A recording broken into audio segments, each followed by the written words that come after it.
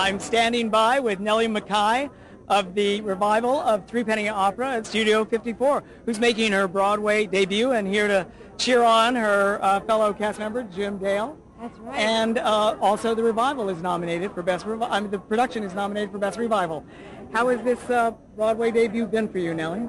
oh, uh, exasperating, um, tedious, and uh, uh, unforgettable. Oh, great. It sounds like a song. Do you think you might play us something on your ukulele? Oh, she's a little out of tune.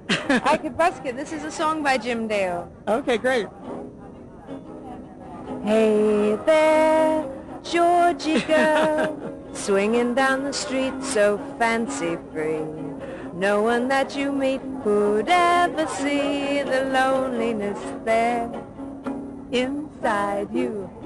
You and we can, and I, I, think if he wins, I'll just start breaking out in song. That's oh, what I really, should play. okay.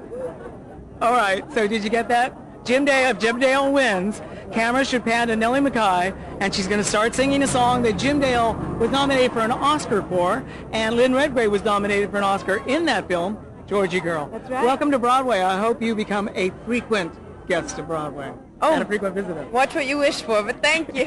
Nice to see Nice you. to